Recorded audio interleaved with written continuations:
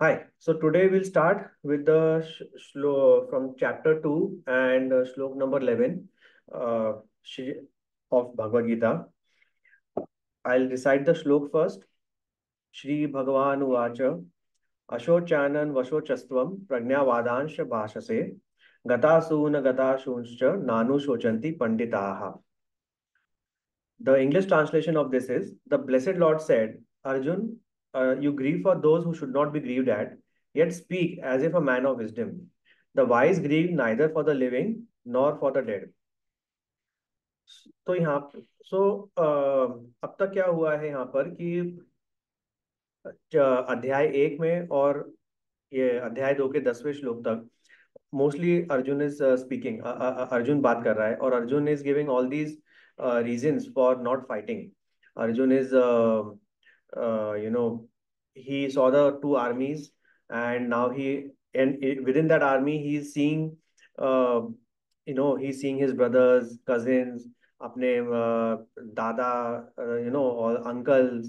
So he's he's seeing all of them, और उसको अब लग रहा है कि नहीं मुझे नहीं लड़ना है एंड इनफैक्ट अगर आप uh, पढ़ोगे तो ही सेज कि मेरे हाथ से गांधी गांडी छूट रहा है uh, मैं खड़ा भी नहीं हुआ जा रहा हूँ एंड यू नो तो मतलब it's kind of a panic attack you know he literally he saying like you know like like my my hands are becoming like you know sweaty तो मतलब एक काइंड ऑफ़ एंगजाइटी अटैक बोलते ना, या panic attack kind of he is getting and Krishna in the second chapter starting of the second chapter Krishna set this कि you know he try to motivate him by saying कि okay you know this doesn't suit you you are a warrior तुम एक क्षत्रिय हो तो तुम्हें शोभा नहीं देता कि तुम ऐसे बात करो। लेकिन फिर भी यू नो अर्जुन बोलता है कि नहीं, कहता है कि नहीं, मुझसे नहीं होगा।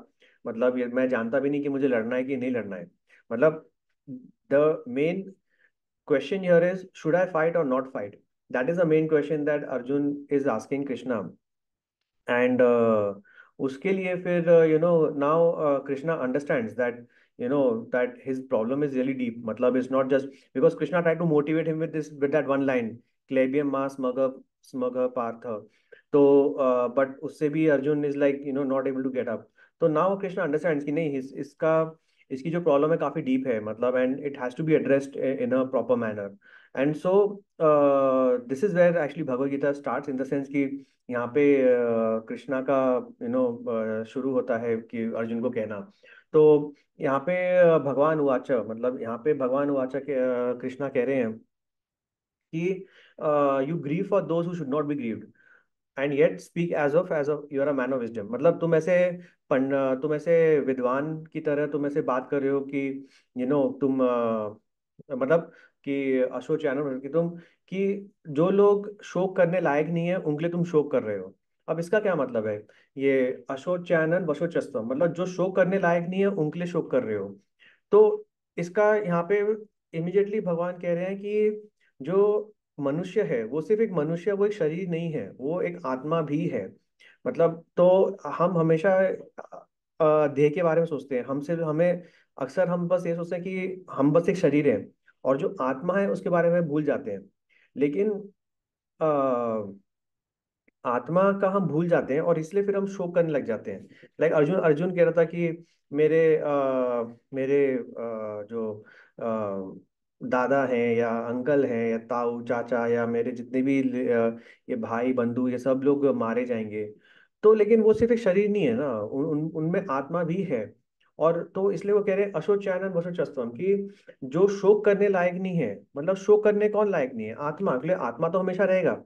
तो लिए तुम शोक कर रहे हो। और और फिर भी ऐसे बता रहे हो कि जैसे तुम एक बहुत ही विद्वान हो। लेकिन वो कहते हैं जो जो एक्चुअल विद्वान है जो एक्चुअली पंडित है वो गतासून गताशुंश गतासून अगताशुंश मतलब जो चले गए हैं और जो अब तक नहीं गए हैं उनके लिए पंडित लोग शोक नहीं करते।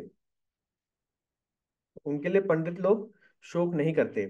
सो so, इसका भी क्या मतलब है कि पहली लाइन में देखा जाए तो भगवान आत्मा के बारे में बात कर रहे हैं राइट दूसरी लाइन में भगवान कह रहे हैं जो चले गए हैं और जो अब तक नहीं गए हैं मतलब शरीर कभी ना कभी तो जाएगा। गतासून गतासून तो शरीर या शरीर की एक ही गति है। शरीर कभी ना कभी तो जाएगा। जो जो अब तक नहीं गए हैं मतलब जो शरीर अब तक नहीं गए हैं वो वो भी जाने वाले हैं। तो आ, एक ही लाइन में भगवान एक आत्मा और अ, और दूसरे शरीर के बारे में अर्जुन को अवगत कर रहे हैं कि यू नो तो तेरा ये जो तू पंडित की तरह बात कर रहा है एक्चुअली पंडित लोग ऐसे बात नहीं करते हैं। इज़ लाइक कि जो जो रियली विद्वान लोग हैं पंडित हैं जो जानते हैं जो तत्व जानते हैं तो वो ऐसे शोक नहीं करते हैं। तो अ, ये स्टार्ट करता है क्योंकि यू नो मुझे लाइक भगवत गीता का पूरी पढ़ने के बाद मुझे लगता है कि भगवान ने ये आत्मा और शरीर के बारे में क्यों शुरू किया? मतलब जो भगवत गीता है वो ऐसे बहुत से दूसरे टॉपिक के बारे में स्टार्ट कर सकते थे। लाइक त्रिगुण के बारे में या जो बाद में शर अक्षर है या अ, या यू नो ऐसे योगी के बारे में। लेकिन भगवान ने सबसे पहले आत्मा के बारे में ही बात किया वो बेसिस है। मतलब अगर जितनी भी हमारे में डायलेमास हैं जितने भी हमको ऐसे प्रॉब्लम आती है हमारे ज़िंदगी में, में कि हम ये काम करें या नहीं करें तो मेजर मेजर इसलिए होता है हमारे साथ बिकॉज़ हम लोग सिर्फ़ शरीर के बारे में सोचते हैं कि हम सिर्फ़ एक शरीर है और जब तक वो शरीर के अ, अंतर्गत अगर हम शरीर को मध्य में रख के फिर हम सोचेंगे तो फिर एक टाइम आता है कि जब हम सोच नहीं पाते कि क्या करें क्या नहीं करें तो हम सबको मतलब जितना हम ऐसे बोलते हैं कि हम शरीर हैं, लेकिन हम आत्मा भी हैं, और ये मालूम होना चाहिए। और तो ये पहला मतलब पहला मतलब जो भगवान का प्रवचन शुरू होता है भगवद गीता में तो उसका ये पहला श्लोक है। दूसरा श्लोक हम अगले वीडियो में लेंगे। धन्यवाद।